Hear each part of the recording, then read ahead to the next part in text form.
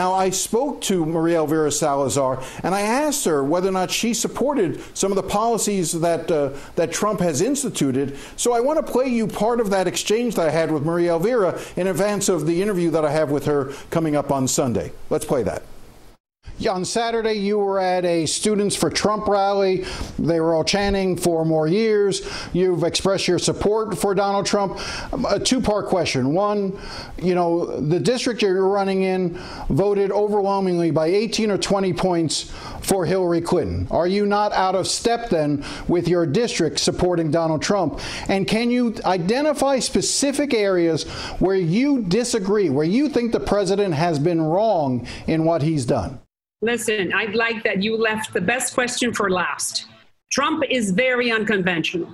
Trump sometimes uses words that I would not use, but he has implemented policies that have been very good for my community and for South Florida.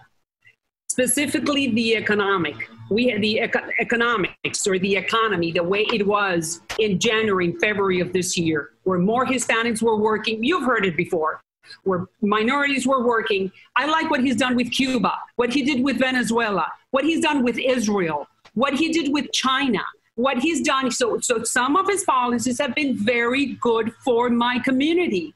And he is not a socialist. And I sign or I align myself with freedom. That is my answer to you. And one thing that you're asking me that I do not agree with him immigration.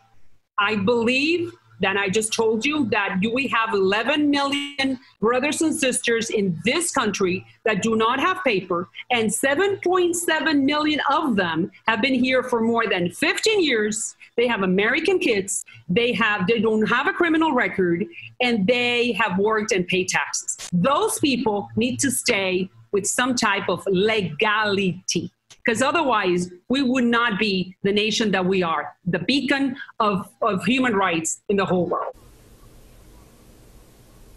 So, as you can see, socialism is going to be a major theme that the Republicans and that Donald Trump and these candidates are using to try to galvanize support among Hispanics and believe that anyone who votes for a Democrat is voting for a socialist way of life. It's going to be very interesting to see how this plays out in the weeks ahead.